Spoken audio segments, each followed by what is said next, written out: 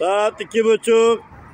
Adıyaman Ünal Turizm Demir TV iyi yolculuklar diler.